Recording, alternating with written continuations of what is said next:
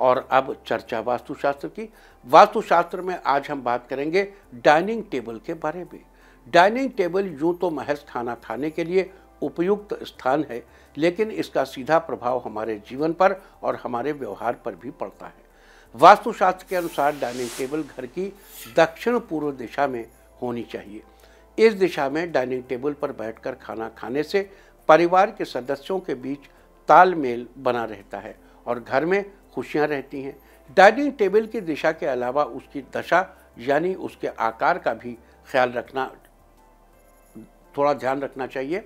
घर में dining table आयताकार या वर्गाकार आकृति का की होनी चाहिए।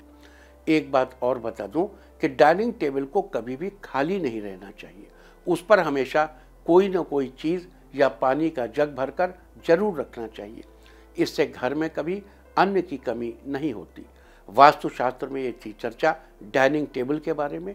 उम्मीद है कि आप इस वास्तु टिप को अपनाकर फ़ायदा ज़रूर उठाएँगे।